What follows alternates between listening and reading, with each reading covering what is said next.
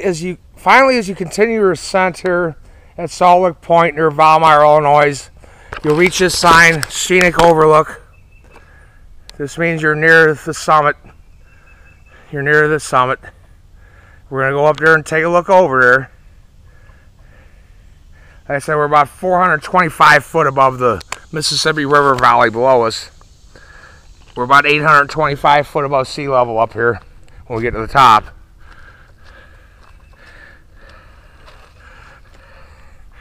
I'll make another movie when I get all the way up there. We'll be there soon.